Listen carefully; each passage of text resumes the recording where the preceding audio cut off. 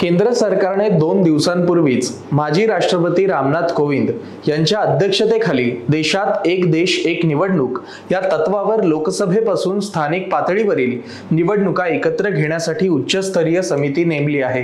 ही समिती सरकारला देशात कशा प्रकारे एकत्र निवडणूक घेता येतील यावर सूचना देणार आहे. मुख्यतः या समितीचे काम हे सरकारला एकत्र निवडणूक घेण्यासाठी कराव्या लागणाऱ्या कायदेशीर आणि संविधानिक बदलांविषयीचा अभ्यास करणार आहे. या समितीच्या स्थापनेच्या आधीपासूनच पंतप्रधान नरेंद्र मोदींनी एक देश एक निवडणूक या धोरणाचा पुरस्कार केला आहे. तर देशातील काही विरोधी पक्षांनी एक देश एक निवडणूक या धोरणाला विरोध केलाय. त्यामुळेच आपण आजच्या या व्हिडिओतून एक देश एक निवडणुकीचा काय फायदा होणार? एक देश एक निवडणूक घेण्यासाठी सरकारला कशा प्रकारच्या अडचणी येणार आहेत? या सर्व प्रश्नांची उत्तरं जाणून घेणार आहोत. नमस्कार मी सुप्रीम मस्कर आणि कॅमेऱ्यावर आहेत साक्षात सावंत. एक देश एक निवडणुकीचे समर्थक आणि विरोधक असे दोन गट सध्या पडलेले आहेत. समर्थक गटाचं म्हणणं आहे की एक देश एक निवडणुकीमुळे खर्चात बचत होईल. त्याचबरोबर विकास कामांना गती येईल. आधी यावरच चर्चा करूया. सेंटर फॉर मीडिया स्टडीजच्या अहवालानुसार लोकसभा निवडणुकीत पंचावन्न हजार कोटीहून अधिक खर्च करण्यात आला होता. म्हणजेच दोन हजार एकोणीसची लोकसभा निवडणूक ही जगातील सर्वात महागडी निवडणूक होती. अमेरिकेच्या राष्ट्राध्यक्ष पदाच्या निवडणुकीपेक्षा ही जास्त खर्च भारतातील लोकसभा निवडणुकीमध्ये झाला होता. हा खर्च राजकीय पक्षांनी आणि उमेदवारांनी केलेला आहे. निवडणूक आयोगाला सुद्धा देशात यशस्वीपणे निवडणुका घेण्यासाठी चार हजार कोटींचा खर्च आला. हा खर्च फक्त लोकसभा निवडणुकीचा आहे. यात विधानसभा निवडणुकीच्या खर्चाचा समावेश नाही. एका राज्यात विधानसभा निवडणुका घेण्यासाठी निवडणूक आयोगाला पाचशे कोटींपेक्षा जास्त खर्च येतो. या खर्चात स्थानिक स्वराज्य संस्था जसे ग्रामपंचायत नगरपालिका महापालिका जिल्हा परिषद यांच्या निवडणुकीतील खर्चाचा समावेश नाही. यावरून तुम्हाला निवडणुकांवर होणाऱ्या खर्चाचा अंदाज आलाच असेल.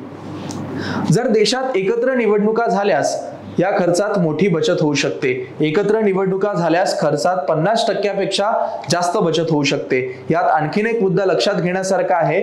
तो म्हणजे निवडणुका घेण्यासाठी निवडणूक आयोगाकडे स्वतःच मनुष्यबळ नाहीये. निवडणुका घेण्यासाठी निवडणूक आयोग शाळेतील शिक्षकांवर आणि सामान्य प्रशासनातील कर्मचाऱ्यांवर अवलंबून असतो.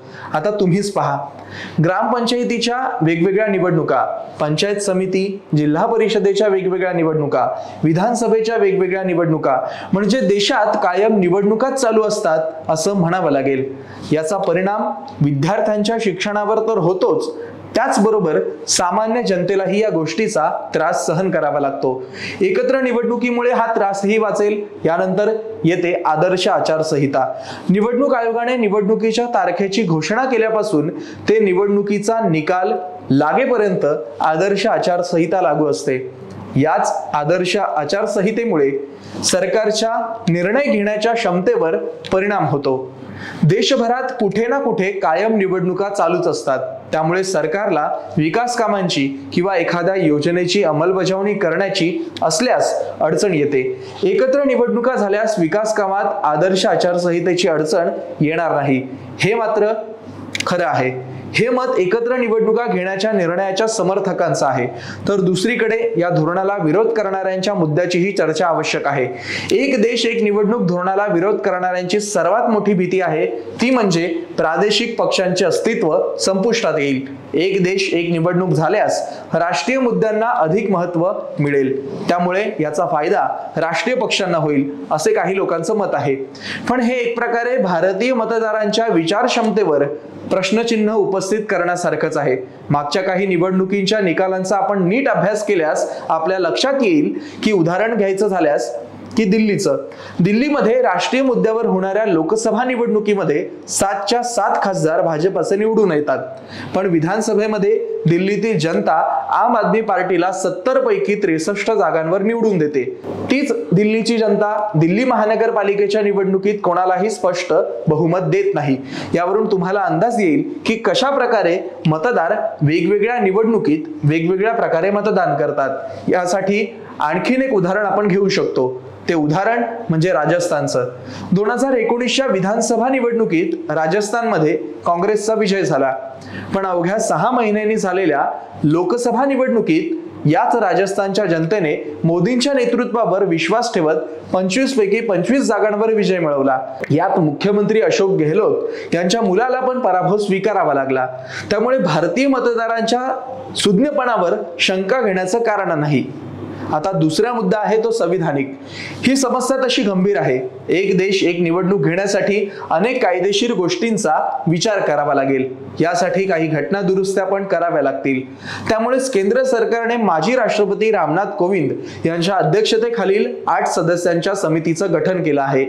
ही समिती सरकारला कायदेशीर आणि संविधानिक बाबींवर मार्गदर्शन करणार आहे. त्यामुळे या समितीच्या अहवालावरच एक देश एक निवडणुकीचं भवितव्य अवलंबून आहे. त्यामुळे सध्या तरी आपण फक्त या विषयावर चर्चाच करू शकतो. समितीचा अहवाल आल्यानंतर एकत्र निवडणुका होतील की नाही हे स्पष्ट होईल. एक देश एक निवडणुकीवर तुमचं मत काय हे आम्हाला कमेंट करून नक्की कळवा. असेच माहितीपूर्ण व्हिडिओ पाहण्यासाठी महा एम टी बीच्या युट्यूब चॅनलला सबस्क्राईब करा आणि फेसबुक पेजला लाईक करा. धन्यवाद.